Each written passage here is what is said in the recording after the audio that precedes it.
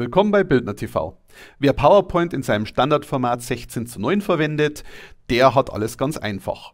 Allerdings, was ist, wenn ihr eine Präsentation im DIN A4-Format Hochformat benötigt oder wenn ihr eine alte Präsentation im 4 zu 3 Bildschirmformat auf ein 16 zu 9 Bildschirmformat konvertieren möchtet? Das alles zeige ich euch jetzt im Video.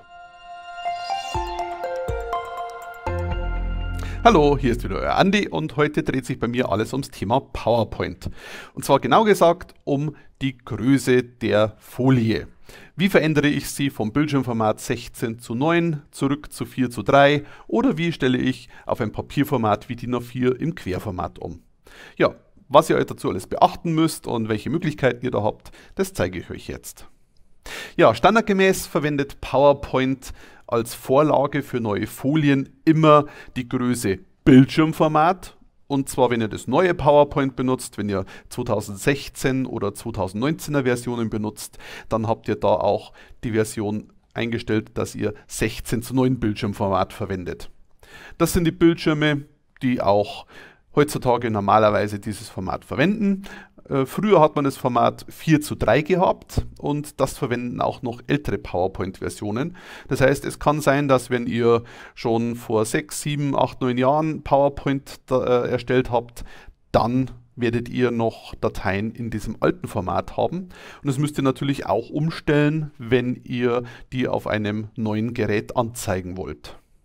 Oder ihr wollt eben für den Ausdruck eure Folien komplett auf eine DIN A4-Seite anpassen. Das Format 16 zu 9 passt zwar so leidlich nett auf eine DIN A4-Seite, stimmt aber halt doch nicht exakt überein. Deswegen, wenn ihr rein für den Ausdruck arbeitet, dann ist es von Anfang an besser, wenn ihr gleich das richtige Format einstellt. Ja, wo macht ihr das Ganze? Wir gehen mal rein, wir schauen es uns im PowerPoint mal an. Ich habe hier eine neue leere Präsentation offen und wenn ihr die Größe eurer Folie einstellen wollt, geht ihr oben auf das Register Entwurf und dort findet ihr auf der rechten Seite den Punkt Foliengröße. Hier könnt ihr einfach nur umschalten auf 4 zu 3 oder wieder auf 16 zu 9. Ich schalte jetzt hier einfach um. Ihr seht, jetzt habe ich das 4 zu 3 Format. Oder jetzt wieder Breitbild 16 zu 9. Wenn ihr mehr Möglichkeiten braucht, klickt auf Foliengröße und geht unten auf benutzerdefinierte Foliengröße. Dann habt ihr hier das Papierformat. Und Vorsicht, das ist jetzt das, was manche verwirrt. Hier auf der rechten Seite steht die Ausrichtung von Folien, Notizen und Handzetteln. Das, was ihr hier einstellt, betrifft eigentlich nur eure Folie. Also wenn ich jetzt hier zum Beispiel auf A4-Papier umstelle, dann habe ich jetzt für meine Folie eben A4-Papier gewählt. Oder wenn ich eben wieder auf Bildschirmpräsentation, ich habe hier zum Beispiel auch 16 zu 10, auch das haben manche Monitore dieses Verhältnis. Wenn ich da umstelle, dann betrifft es allerdings nicht meine Notizen und Handzettel, denn die sind weiterhin im normalerweise DIN A4-Format. Ihr könnt die Größe von Notizen, Handzettel und Gliederung, die ihr ausdrucken könnt, hier nicht ändern. Die bleiben, wenn ihr in der Bildschirmpräsentation seid, werden die natürlich im vorhandenen Druckformat und das ist im Regelfall A4, sind die entsprechend eingestellt. Was ihr hier noch ändern könnt, ist, ob euer äh, Präsentation im Hoch- oder im Querformat dargestellt wird. Wenn ihr das Ganze ausdruckt, dann mag es auch häufig sein, dass ihr eben DIN A4 nehmt und dann auch die ganze Präsentation im Hochformat erstellt. Und OK. Jetzt fragt er mich hier, ob ich meine Folien, die ich bereits erstellt habe, entsprechend skalieren möchte. Diese Abfrage taucht in den neueren Versionen auf und ihr habt die Wahl zwischen maximierend oder passend skalieren. Äh, bei Maximieren versucht er bereits vorhandene Bilder auf die maximal möglichste Größe zu ziehen und bei passend Skalieren versucht er es entsprechend dem Seitenverhältnis richtig anzupassen. Allerdings kann ich euch gleich sagen, ihr werdet bei beiden Versionen nacharbeiten müssen, denn es kann vorkommen, dass vorhandene Grafiken oder Bildern bei beiden Versionen verzerrt werden.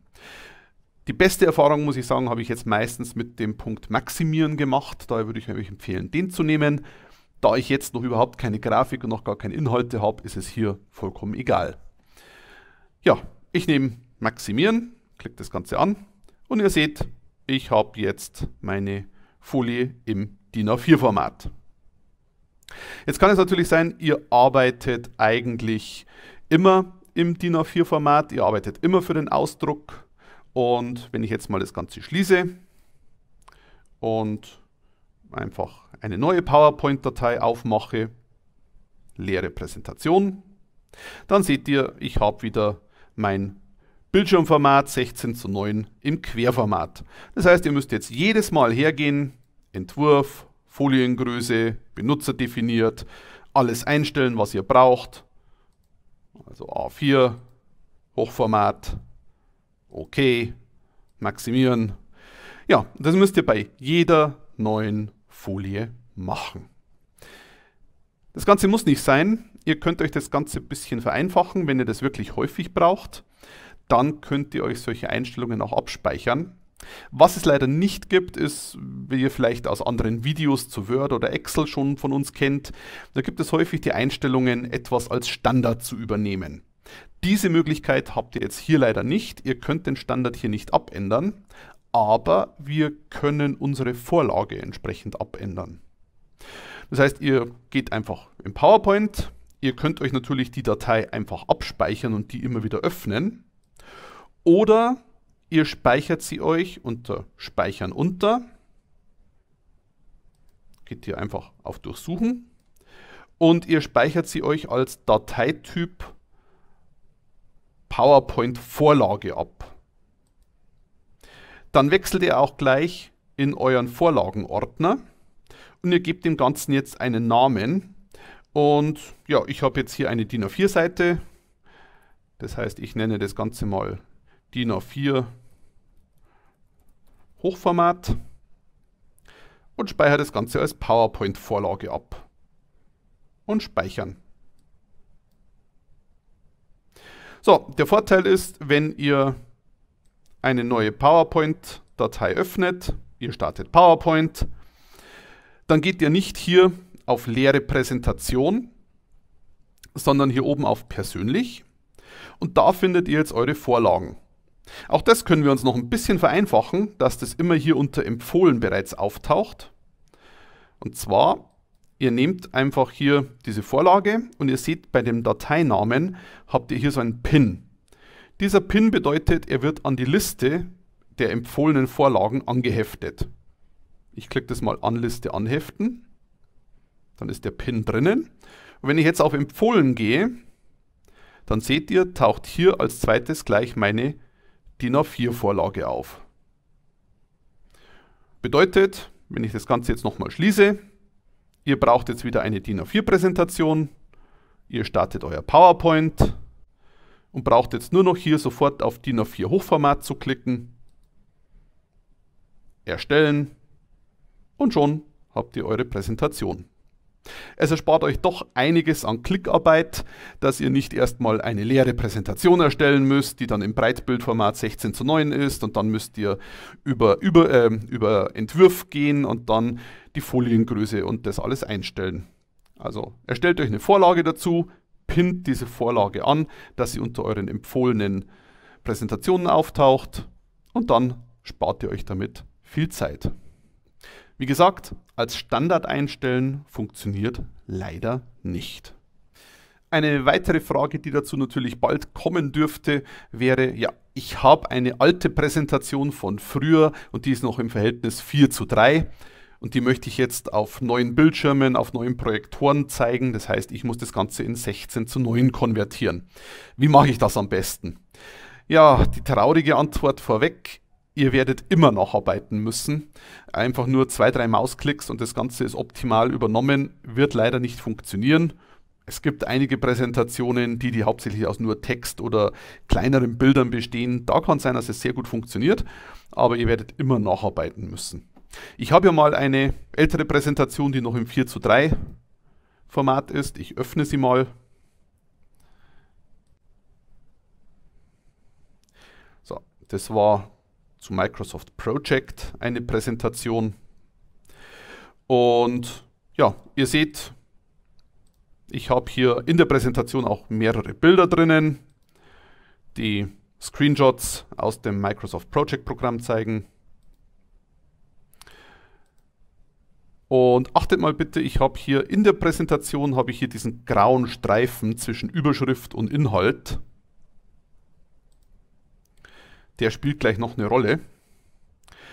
Und man sieht schon am Aussehen, dass das Ganze noch in 4 zu 3 Format erstellt ist.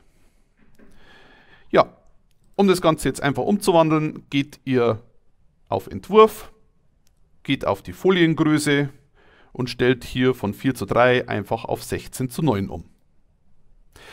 Es kam jetzt nicht mal diese Abfrage, ob ich Sachen maximieren möchte oder die entsprechend anpassen. Er hat es einfach übernommen.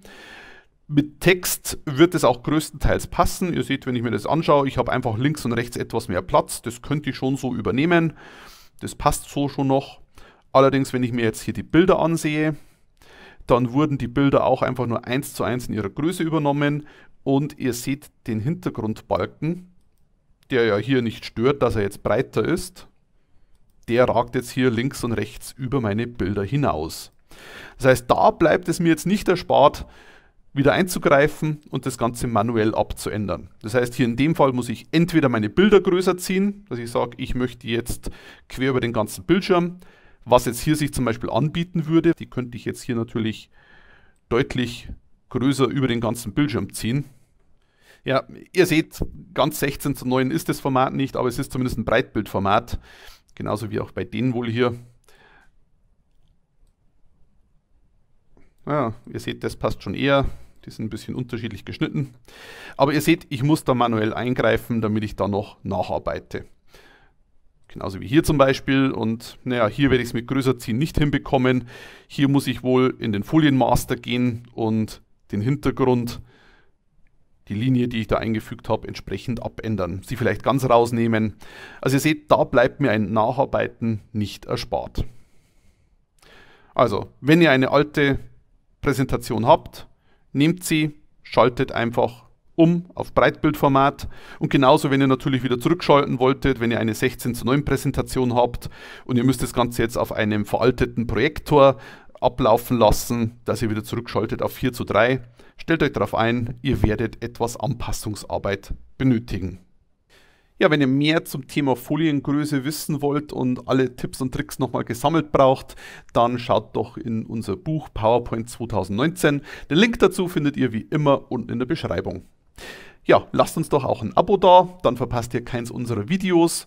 Über ein Like des Videos freue ich mich und wenn ihr Fragen, Wünsche, Anregungen habt, schreibt es uns doch einfach unten in die Kommentare. Wir sehen uns beim nächsten Video. Ich freue mich auf euch. Bis bald bei Bildner TV.